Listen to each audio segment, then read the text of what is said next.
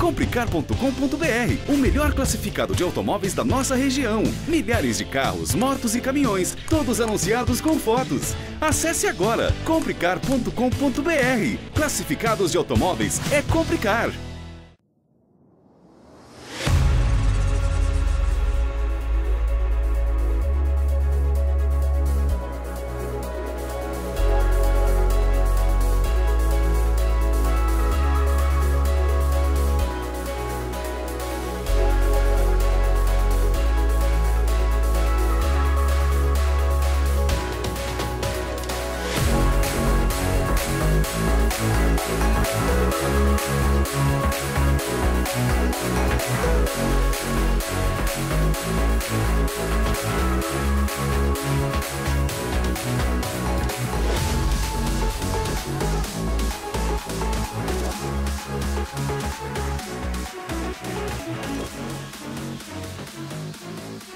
O segmento de sedãs médios da categoria Premium é certamente o mais concorrido para essas marcas.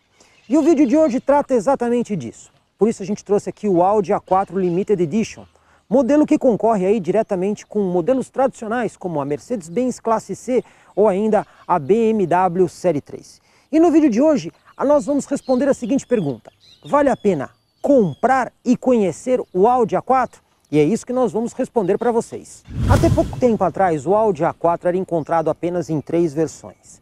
A versão Attraction de entrada, a Ambiente intermediária e a Ambition topo de linha. Aliás, no nosso canal a gente tem exatamente a matéria de avaliação do Audi A4 Ambition com todos os detalhes. Essa aqui que nós estamos trazendo para vocês é a Limited Edition, uma versão especial, que é montada sobre a versão Ambiente.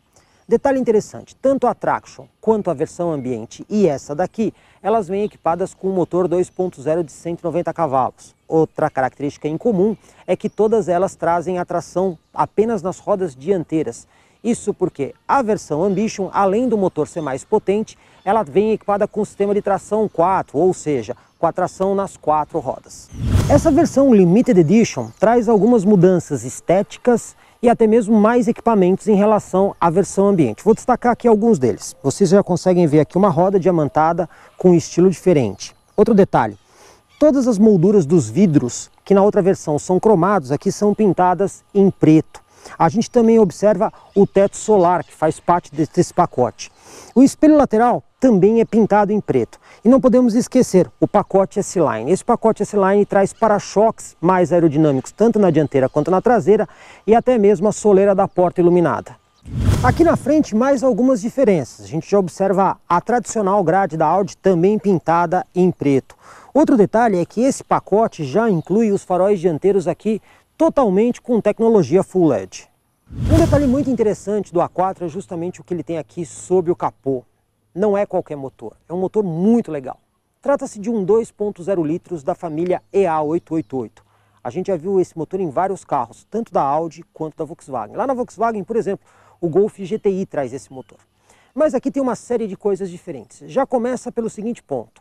Aqui a montagem do motor é longitudinal. Nos carros da Volkswagen, como por exemplo no Passat, é uma montagem transversal. E aqui já temos uma diferença bem grande. Além disso, esse motor aqui com 190 cavalos traz algumas tecnologias que merecem ser destacadas. Para começar, ele tem quatro bicos de injeção direta e mais quatro bicos de injeção indireta. Assim são oito bicos no total aqui. Outro detalhe muito interessante, esse motor tem dois ciclos de operação. Ele tem o ciclo Otto e o ciclo Atkinson. O ciclo Otto é o que é normalmente encontrado em praticamente todos os motores a combustão. É um motor de quatro tempos, sendo que você tem o ciclo da admissão, depois você tem a compressão, você tem a explosão e a exaustão. O ciclo Atkinson também tem quatro tempos, só que tem uma importante diferença. Quando você está fazendo a compressão do cilindro no ciclo Atkinson, ele ainda mantém a válvula de admissão um pouco mais aberta, ou seja, ele faz uma compressão menor. Isso porque depois que o cilindro já subiu um pouco, aí é que ele fecha a válvula de admissão. Com isso, um motor que tem uma cilindrada maior é como se ele tivesse uma cilindrada menor, porque a compressão é feita num volume menor e isso ajuda a economizar combustível. Tanto é assim que os carros híbridos, como por exemplo o Prius CT200H e até mesmo o Ford Fusion, usam motores puramente de ciclo Atkinson, pois ele é mais econômico. Mas quando o carro precisa de potência, ele muda automaticamente para o ciclo Otto, que é o ciclo que a gente já conhece. Assim, esse motor 2.0, na operação do ciclo Atkinson, opera como 1.4 e quando precisa de potência, volta a ser um 2.0. O Audi A4 é montado sobre a plataforma MLB Evo, justamente por isso o motor tem montagem longitudinal. Além disso, junto com esse motor aqui, nós temos um câmbio S-Tronic, robotizado de dupla embreagem com sete marchas e obviamente essas embreagens são em banho de óleo. A gente consegue ver aqui que o desempenho é realmente elogiável no Audi A4. O motor entrega 190 cavalos de potência máxima. O torque é generoso, são 320 Nm, o que é bastante. Agora, detalhe interessante, esse motor aqui, com esse câmbio neste conjunto do A4, vai de 0 a 100 em 7.3 segundos. Este é o mesmo tempo que o Jetta, com 211 cavalos, consegue acelerar de 0 a 100. Como vocês podem ver aqui, a eficiência do sistema com menos cavalos é realmente muito boa. Outro detalhe que a gente também não pode esquecer, velocidade máxima 240 km por hora com apenas 190 cavalos de potência, o que mostra que o sistema é realmente muito eficiente quando o assunto é desempenho. Aqui atrás a gente também observa algumas coisas interessantes. Nós temos esse pequeno defletor de ar aqui, inclusive pintado em preto brilhante. Outro detalhe do pacote dessa versão Limited Edition são as lanternas traseiras, totalmente em LED, até mesmo a luz de ré em LED. E outra coisa muito interessante são as luzes de seta, isso porque elas são dinâmicas, elas correm de dentro para fora, recurso que a gente viu pela primeira vez aí no Audi R8. Falando especificamente do porta-malas, a gente pode destacar algumas coisas interessantes. Você consegue abrir o porta-malas aqui pelo botão da chave. Detalhe, ele tem um sistema de molas que permite a abertura da tampa com muita facilidade são 480 litros de capacidade, que é uma boa capacidade. E as dobradiças não invadem o espaço do porta-malas, uma vez que elas têm uma área para descer sem atrapalhar as bagagens. Aqui no porta-malas a gente observa iluminação em LED, também temos porta-objetos nas duas laterais. Outra coisa interessante é este prático ganchinho para você colocar aqui para acessar o pneu de step. O único senão é que o pneu de step é aquele pneu fininho, que quando você utiliza você não pode passar da velocidade máxima de 80 km por hora. Agora é hora da gente dirigir aqui o Audi A4 Limited Edition, mas antes eu vou falar um pouquinho de alguns equipamentos que o carro tem aqui por dentro. Primeiramente, sistema de chave presencial. É só estar aqui dentro, pisar no freio, apertar o botão que a partida já se inicia. Por não ser a versão topo de linha do Audi A4, a gente não tem o ar-condicionado de duas zonas. O ar-condicionado aqui é de simples zona, mas ele é automático. Então você seta a temperatura aqui no marcador e ele vai manter a temperatura aqui dentro do carro. E a disposição dos botões é bem simples de ser aqui utilizado. Mas o grande lance aqui do carro é justamente o Virtual Cockpit. A gente já falou em outras vezes, em outras matérias que a gente fez com carros da Audi, que esse aqui é sem sombra de dúvida nenhuma o sistema de infotainment mais completo, mais interativo e o mais fácil de ser utilizado quando a gente olha para todo o segmento. Mesmo quando a gente compara aí com a Mercedes C200 EQ Boost que acabou de ser lançada, que traz aí um painel virtual, o Virtual Cockpit da Audi ainda é melhor do que o que foi apresentado super recentemente aí pela Mercedes. Então eu vou aproveitar para mostrar algumas coisas aqui do Virtual Cockpit, porque a interação com ele é o grande lance, aqui é muito fácil de você mexer. Aqui do lado esquerdo do volante, você tem aqui alguns botões que você interage aí com as principais informações. Então, você tem um botão que você seleciona a função que você quer, a função principal. Você tem um outro botão de roda que você acessa os menus, um outro botão ao lado da roda que você acessa as funções especiais do menu que você está utilizando e o modo view que muda a disposição dos ponteiros ou numa tela maior ou numa tela menor. Então aqui eu já vou entrar para mostrar para vocês o computador de bordo, uma vez que é, nós vamos estar tá utilizando ele na estrada, eu vou inclusive reiniciar ele aqui agora, vocês estão vendo aqui, ó, temos um histórico ali de 13.3 km por litro, esse aqui eu vou deixar, esse parcial eu vou zerar para a gente ver como é que fica o consumo. E temos aqui também a indicação das coisas que estão sendo consumidas no momento que nós temos o carro ligado. Por exemplo, aqui ele está indicando que o ar-condicionado está gerando um consumo adicional. Menu do Bluetooth, menu de conexão do celular e o mapa GPS que é a, o grande diferencial aqui, porque você pode mudar uma visão menor ou maior e você consegue fazer zoom in e zoom out nesse mapa aqui com muita facilidade e esse é o grande diferencial aqui do Virtual Cockpit, porque do mesmo jeito que a gente consegue ter um mapa na frente do motorista, a gente também consegue ter um mapa na tela principal e você pode escolher visões diferentes, inclusive com é, exibição 3D no motorista, 2D no principal, inverter, deixar uma visão mais perto em um, mais longe no outro. E isso aqui é realmente muito legal nesse carro. Uh, do outro lado do volante, a gente tem aqui os controles do multimídia, né? Então você pode usar aqui para interação do volume, é, mudança de faixa, comandos de navegação e até mesmo atender chamadas do celular ou dar comandos de voz quando você tem um celular compatível. O carro também vem equipado com o Drive Select, que você consegue mudar o modo de condução do carro entre alguns programas pré-estabelecidos, como o Efficiency para, obviamente, economia. Você tem o Comfort, que é para você ter uma condução mais confortável. O automático, que vê como você está dirigindo e ajusta o carro. O Dynamic, que seria o modo esportivo. E o Individual, que você consegue configurar algumas questões, como, por exemplo, a, o motor, você quer que ele seja ou dinâmico ou confortável, e o modo de direção também dinâmico ou confortável. Aí você configura o carro da forma como você quer. Nós vamos usar o carro aqui no modo Efficiency, uma vez que a gente quer ver justamente o consumo de combustível.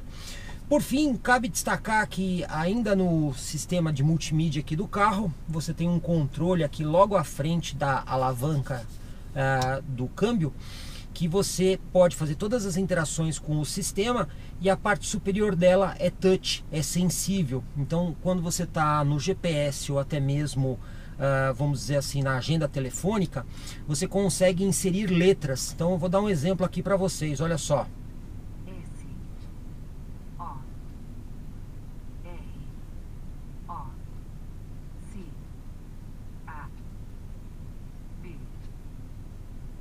Como vocês viram, a gente escreveu aí a palavra Sorocaba e ele reconhece com muita facilidade.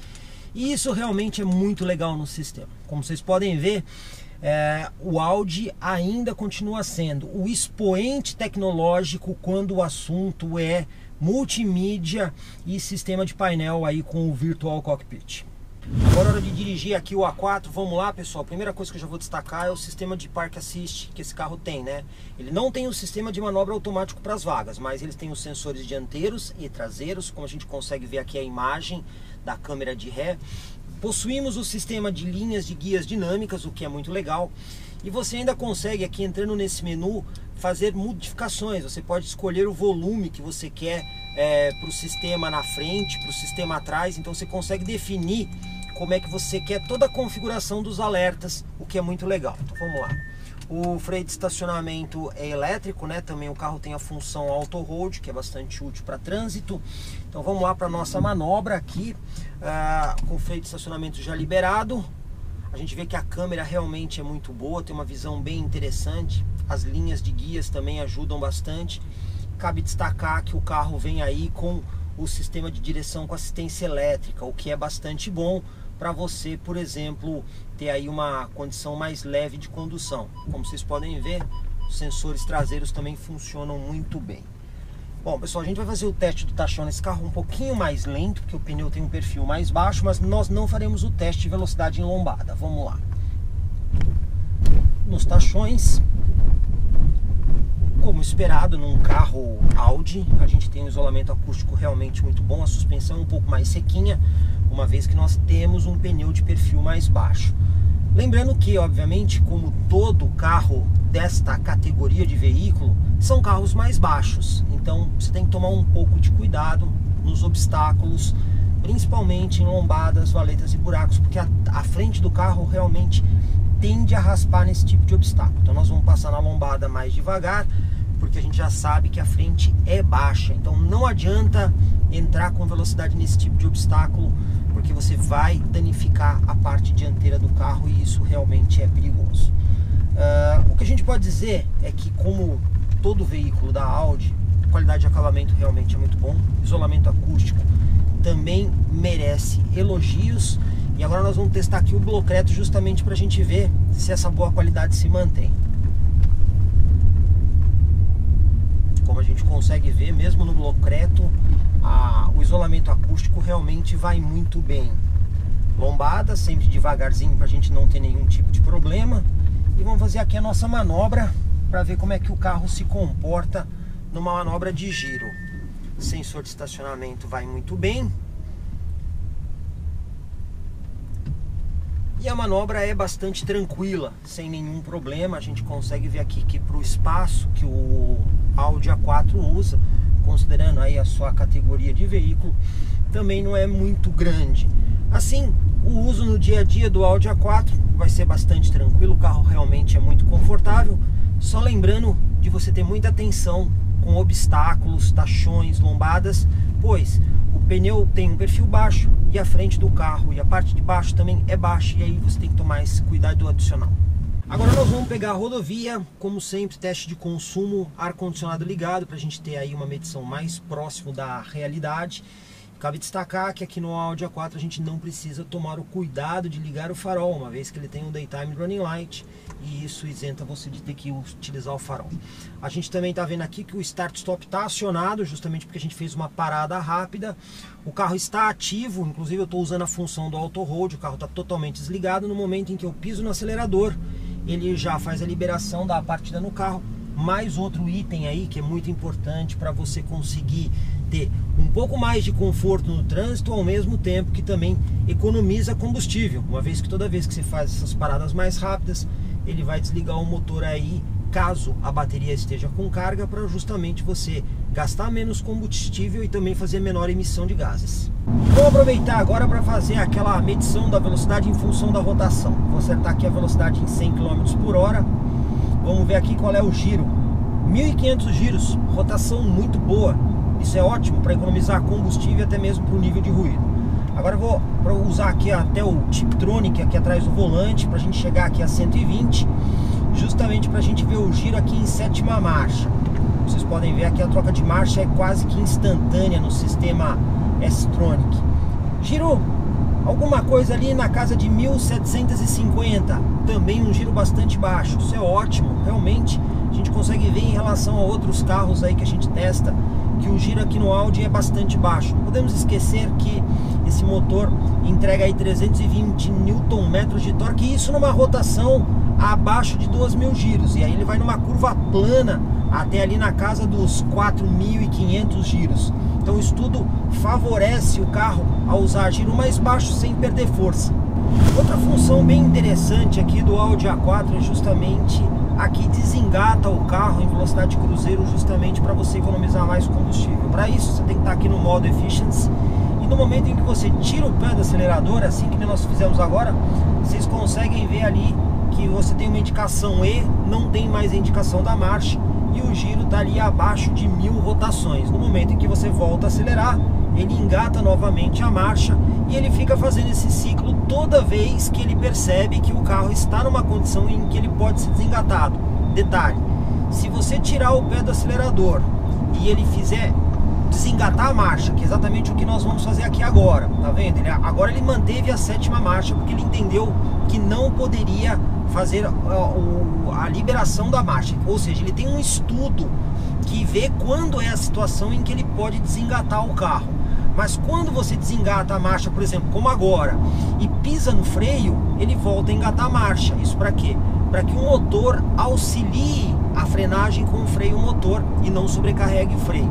Então ele vai fazer esse ciclo toda vez que ele perceber que pode fazer isso, de modo a economizar combustível e não comprometer nem a segurança e nem a dirigibilidade do veículo.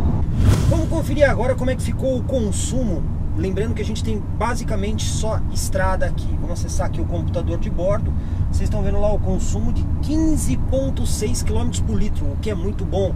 Cabe destacar que, segundo em metro, esse carro faz 14,3. Não podemos esquecer. Estamos falando aqui de um veículo que pesa 1.405 quilos e que também tem 190 cavalos de potência no motor. Essa economia muito boa é graças, obviamente, ao sistema de duplo ciclo que o motor tem, né? O Atkinson e o Otto, além do duplo sistema de injeção, injeção direta e indireta. Então ele vai usar cada sistema de injeção em cada ciclo de acordo com a situação. Aqui, obviamente, a gente fez uma, uma condução bastante suave. A gente consegue ver aqui a média de velocidade ficou em 76 km por hora e a gente percorreu aqui pouco mais que 28 km, 28.5 em 22 minutos.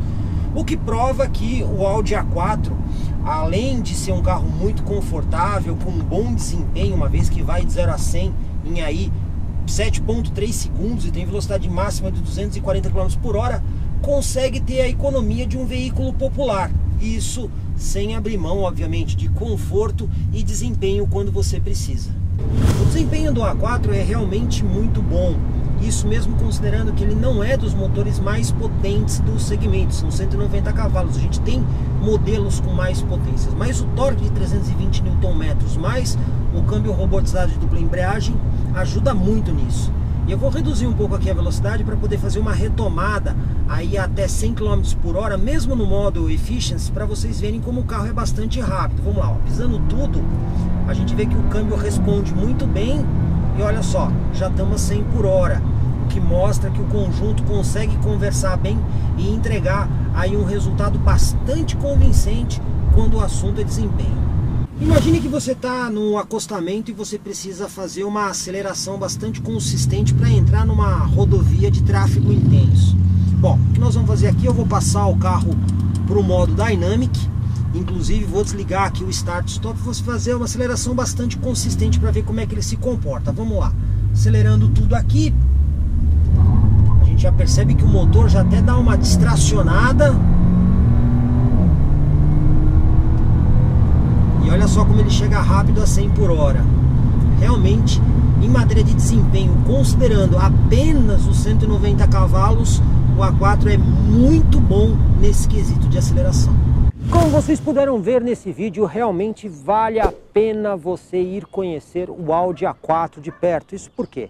Estamos falando de um carro para começar, esteticamente muito bonito aqui nessa versão, que é a Limited Edition. Mas, se você não gostar desse visual preto, você tem a opção da versão ambiente, que inclusive é mais barata. Também não podemos esquecer que temos um modelo aqui extremamente eficiente em dois itens, tanto na questão do desempenho, quanto também na questão da economia. Aliás, uma excelente economia aqui do modelo. Bom pessoal, a gente sempre faz esses vídeos esperando aí o seu like, afinal de contas é só assim que a gente sabe que você está gostando do nosso trabalho. E se você não se inscreveu, por favor, se inscrevam aí no nosso canal, afinal de contas, as avaliações mais completas você só encontra no Comprecar TV. Comprecar é ideal para quem quer vender, Comprecar é ideal para quem quer comprar, se precisou vender ou comprar, acesse hoje mesmo Comprecar. Acesse comprecar.com.br. Comprecar.